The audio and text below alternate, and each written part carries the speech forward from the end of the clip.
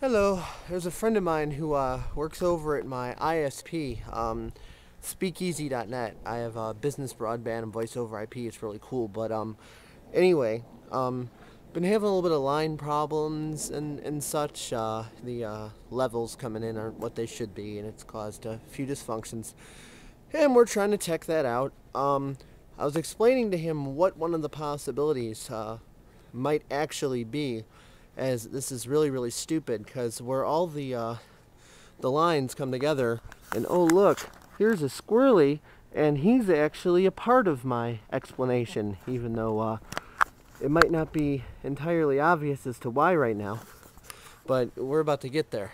Anyway you see the physical network is still owned by AT&T even though my ISP is uh, Speakeasy because um, they own the uh, the physical lines on on the poles and stuff, so it's their techs that uh, have to take care of it when there's a problem.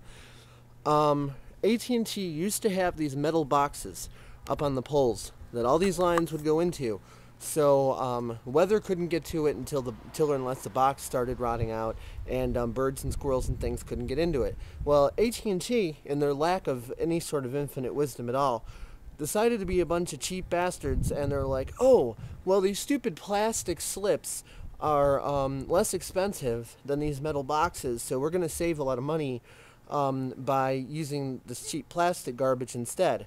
Well, sometimes you get what you pay for, and when you decide to be a cheap ass, you end up spending more money in the long run. Because on these things, weather gets into the wires very easily. Um, squirrels get into it easily. Birds get into it easily. And these repair guys, just for one hour of their service, um, they got to pay them more than one of these uh, stupid boxes is going to cost. So, um, this this plastic slip thing kind of reminds me of a, a big black uh, penis that's up there on the phone line, and I'm actually about to zoom in on this. There's a there, there's the big penis, and there's a bunch of little penises, and I'm gonna see how good of a shot I can get. Okay, there's a big penis right there. Um, you can see it. It's the uh, the black obvious slip thing with all the wires just loosely hanging out of it. Those wires would have been nice and safe and contained in a in a box, but um, as you can see, the uh, plastic um, weathers and tears off pretty easily. The underside, I don't know how clear of a view this is going to be, but the underside is completely and totally exposed. I can even see all the little wires to such an extent that I could see their colors.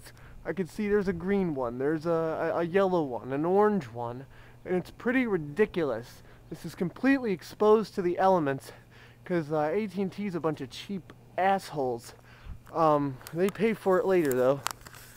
Now, as you, you might be able to see, hopefully, there's uh, smaller little little uh, testicles to accompany the penis there.